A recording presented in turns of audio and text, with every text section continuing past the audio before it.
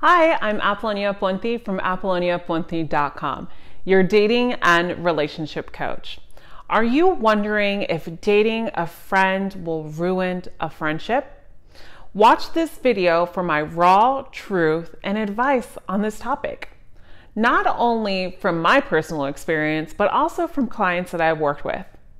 For the most amazing and authentic dating and relationship advice, subscribe to my channel. That small little purple thing that you see on the bottom right, hit that. And hit the bell to be notified every Tuesday and Thursday when I post a new video. Make sure you stay tuned till the very end as I have something for you. If you're currently involved in a friendship and thinking about maybe dating him or her, or if you are currently dating them and not sure if it will be forever, but don't want to ruin the friendship. Or dated your friend and now you hear crickets. By the end of this video, you'll have a better understanding of what to do moving forward. First, let's talk about if you are thinking about dating him or her. If this has been a friendship that has developed over time and gotten stronger, it's your responsibility to understand if you are seeking to date them because you're lonely or is it really because you are catching some real, true feelings for them. The reason I say this is because a lot of times our friends are always there for us. We're having lunch, we're having dinner, breakfast, and sometimes that mid coffee break, and they always take our phone calls. Then we might not be going on good dates, and our calling for loneliness gets louder and louder. So make sure your intentions are clear of why you want to dig deeper into being more than just friends with this person. Then, if you still want to pursue this, write down the reason or think about the reason why this person is special to you. Why? Because you are going to tell them. But also, from the very beginning, you want to be clear about what it is that draws you to them and also your boundaries and see if taking it slow seems like a good option.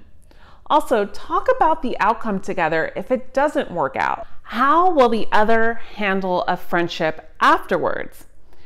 It's important that when you have these friend turned relationships, you treat them with respect, just like you do now as a friend.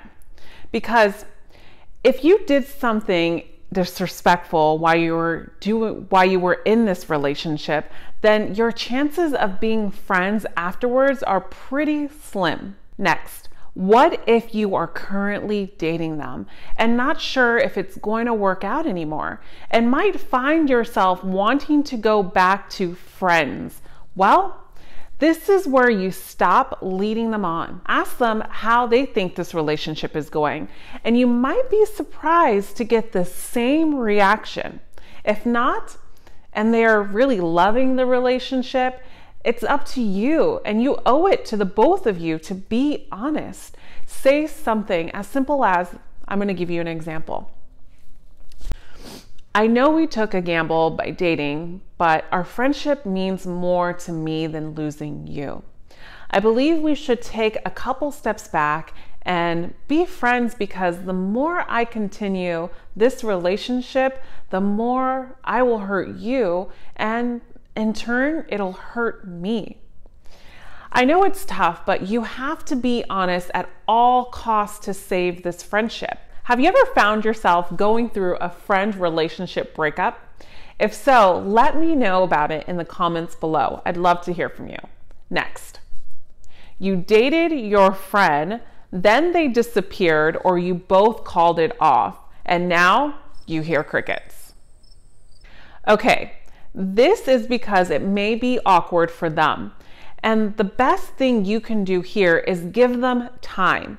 I'm going to tell you right now don't blow up their phone.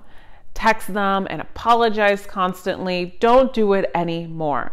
Just let it be, and maybe after a couple weeks or months, they will come back to you. I can almost guarantee you that they will. Just make the space comfortable and let them heal with time.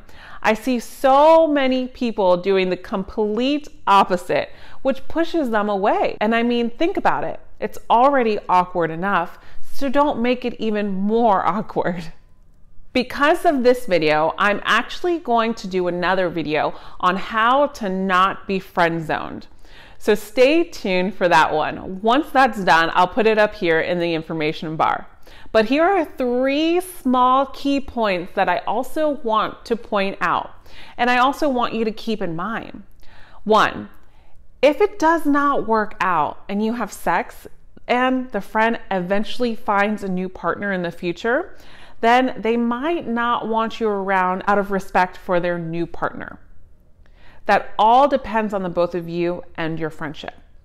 Number two, you cannot control the outcome to everything. No matter what, you are taking a risk, and there is no magic step you can do to make it picture perfect. Only precautions, just like I've given you here in this video.